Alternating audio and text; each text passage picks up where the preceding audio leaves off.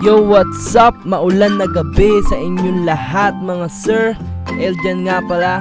Yon, it's been 10 10 10 p.m. in a, in the evening. Yun na, ayaw ko nag english talaga. Tumutugo yung ilong ko.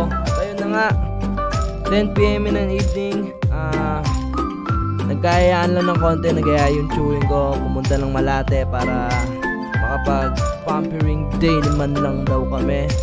So yun, samahan nyo kami. Let's go!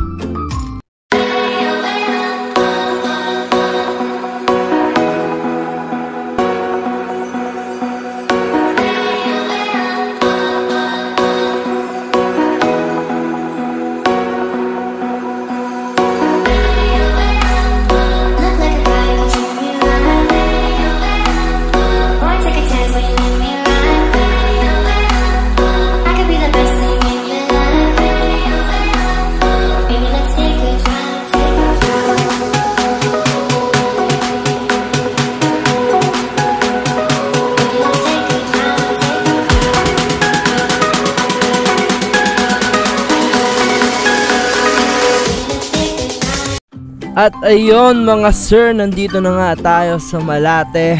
Actually, first time ko lang nakapunta dito sa Malate at ayun, sunod-sunod nga talaga yung mga bar dito, sobrang dami.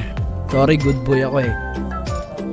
First time ko lang talaga nakapunta dito sa Malate. I mean, first time kong nakaikot dito sa Malate para maghanap ng iinuman. Ang hirap pala talaga mamili ng iinuman dito kasi sobrang dami talaga.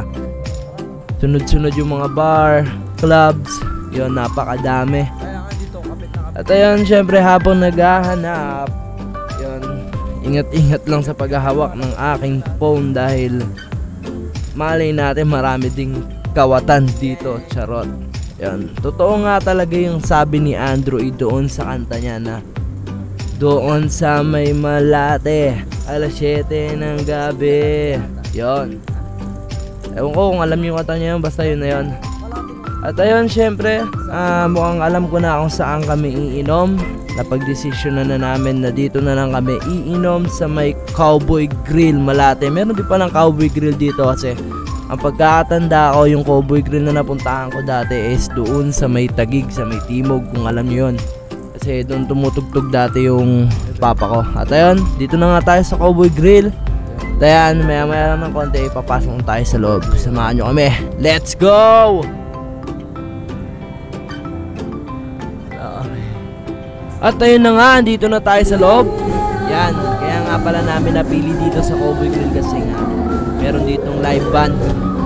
Para medyo nakaka-libang lang manood ng mga. Ayan, yan, kita nyo ba yan? Yo! Ayun, live band. Yun, syempre, inom tayo dito, hindi tayo manonood lang, hindi tayo tatambay. Let's enjoy the night. Let's go!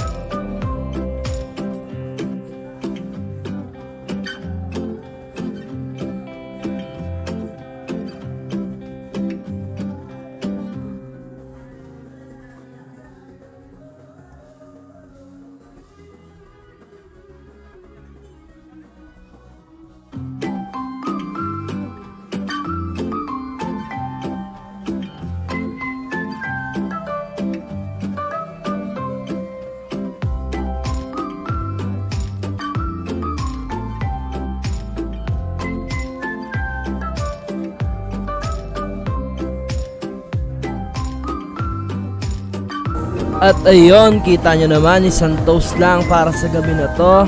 Yan, napakaganda Gandang tignan yung mga baso, nakalahati lang yung laman. Yan, syempre kung nakikita nyo mga pulutan dyan, syempre ubos na yan, wala na, inubos ko na kasi. Yan, alam nyo naman ako pag na sa inuman eh, pulutan lang talaga malakas. At yun, may mga tama na sila, may medyo tinama, tinatamaan na rin ako itong mga oras na to. At, at syempre, dahil tinatamaan na nga tayo at alas 3 na rin ng umaga, uuwi na tayo dahil last na session na rin ng mga banda, yung mga live band. At ayun, salamat sa panonood. Kung di ka man nagsasubscribe, mag-subscribe ka na para sipagin naman ako gumawa ng video. Yon, pop up.